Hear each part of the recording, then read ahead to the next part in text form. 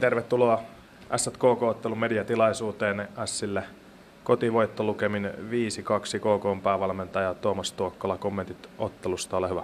No niin, lyhyestä virsi, virsi kaunis ja tultiin hyvin peliä, hyvä lähtö meiltä, meiltä ja tota, hyvä, hyvä liike ja hyvä, hyvä niin kuin pelirytmittäminen ja tekeminen. Ja, ja tota, mutta sen jälkeen meidän piti parantaa toiseen erään, mutta luultavasti siinä kävi niin, että S paransi aika paljon ja otettiin sellainen pohjakosketus sen ensimmäisen kympi aikana siinä, siinä niin kuin pelillisesti. Ja sitten sitä yritettiin raapia koko ilta, ilta kasaan ja siinä oli, siinä oli lopputulosta parempi joukkue tänään voitti ja meillä jatkuu nöydä työnteko sen eteen, että päästään tuohon peliin, pelin paremmin kiinni. Ja se oli niin kuin tämän illan kulku. Ja samalla onnittelu Pasille.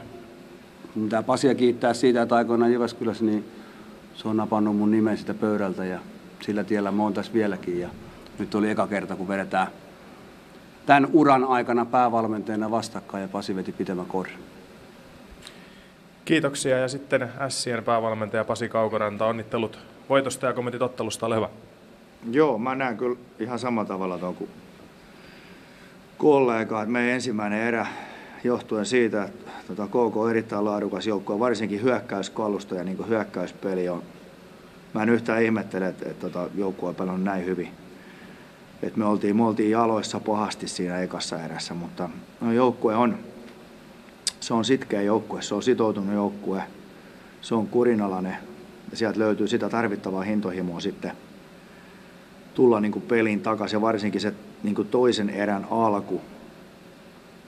Ja se eka kymppi oli meitä tosi hyvää jääkiekkoa, mutta siis mun täytyy sanoa, että kyllä tuo kolmannen erän alkukin meitä oli hyvä, hyvää peliä. Me päästiin siihen tekemään vielä maalia. Loppu on sitten tietysti aina menee tuohon puolustustaistelupiikkiin, mutta tuo puolustustaistelu on, se on, va, se on sitkeä. Noi, noi jätkät uskoo itseensä ja niillä, niillä on kova itseluottamus. Et tota, tästä, on, tästä on hyvä jatkaa. Intohimo ja kurinalaisuus, mitä muita asioita on siinä takana, että toiseen erään saatiin noin hieno nousu? Ei siinä oikeastaan ole mitään mukaan noin, ei, ei mulla ole niin oikeastaan tuohon mitään lisättävää. Ennen joulua vielä yksi ottelu, eli perjantaina sitten Kuopiossa Kalpa vastassa. Minkälaista ottelua odotat? No se tulee olemaan todella, todella kiihkeä taistelu, että ollaan, vähän lähestytään nyt noita joukkueita. Mä en tiedä tarkalleen sarjatilannetta, mutta kyllä me näköjään sieltä, sieltä ylöspäin ollaan kova, kovasti tulossa.